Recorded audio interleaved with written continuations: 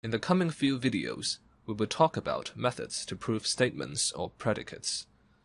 To avoid being too wordy, I would use the words statements and predicates interchangeably from now on.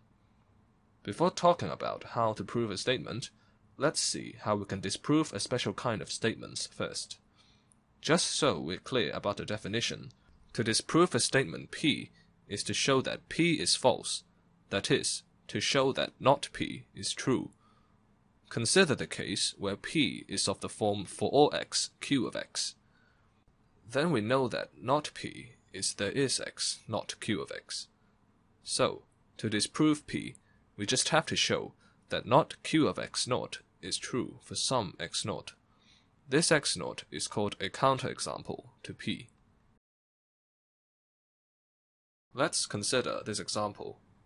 We want to disprove the statement, every prime number is odd.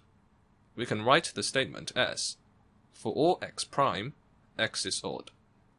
The negation is, there is x prime such that x is even. Can we find such an x? Yes, we can, and in fact, there is only one such x. It is 2. 2 is prime, and it is even. So we have shown that the statement is false, because 2 is a counterexample.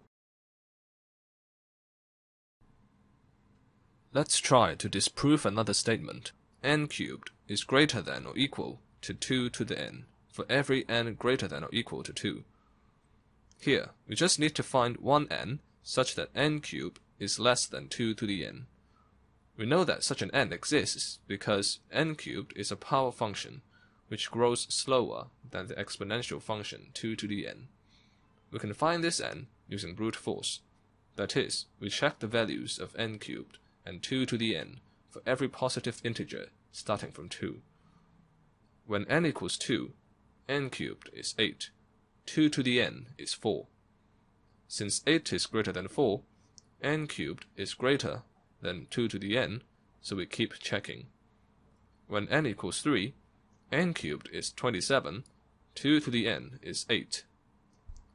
27 is greater than 8, so we continue. 4 cubed is 64, 2 to the 4 is 16. Not yet. 5 cubed is 125, 2 to the 5 is 32, still not there.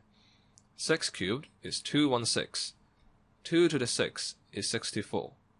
More to go. 7 cubed is 343, 2 to the 7 is 128. So we see that the powers of 2 are catching up. 8 cubed is 512. 2 to the 8 is 256. 9 cubed is 729. 2 to the 9 is 512. Almost there. 10 cubed is 1000. And 2 to the 10 is 1024. So finally, 1024 is greater than 1000. So 10 cubed is less than 2 to the 10. So we have a counterexample n equals 10, and the statement is false.